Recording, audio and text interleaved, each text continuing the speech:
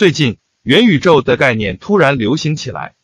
全球最大社交平台 Facebook 的创始人扎克伯格表示，他想完全转型为元宇宙。什么是元宇宙？将人类现实世界的数字化仿真与人类现实世界实现无缝衔接和全面统一，形成的一元化宇宙体及各种多元化的事件元素形成一元化的统一宇宙体，称元宇宙。原界 （Metaverse） 起源于二十九年前的科幻小说《雪崩》，其中将人类未来的生活描述为一个数字世界，人们在虚拟世界中相互交流。目前。这个概念还没有很明确的表述，但总的来说，它是一个由多个宇宙相互连接的持久而生动的数字世界。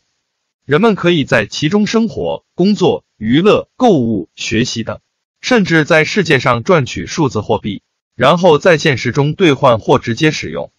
总之，人们可以在这个世界上做很多事情，就像另一个次元世界一样。元宇宙被认为是互联网的下一个形式。我们现在的游戏、社交软件、购物软件都可以在元宇宙中体现为真实的场景。例如，我们在元界购物时，不是登录购物网站，而是来到数字商业街，在元界商场、超市选购商品，就像在实体店购物一样。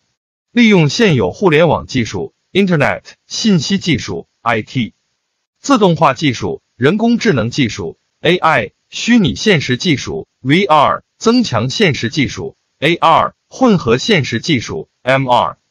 扩展现实技术 XR、大数据技术、云计算技术的元宇宙商业将很快成为元宇宙的新成员。未来的元宇宙商业，人们可足不出户，使用远程多维视讯设备，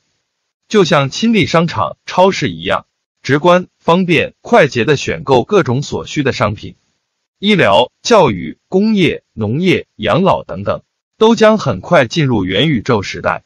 元宇宙科技将迅速得到普及和应用，元宇宙时代将以排山倒海之势进入人类的现实生活中。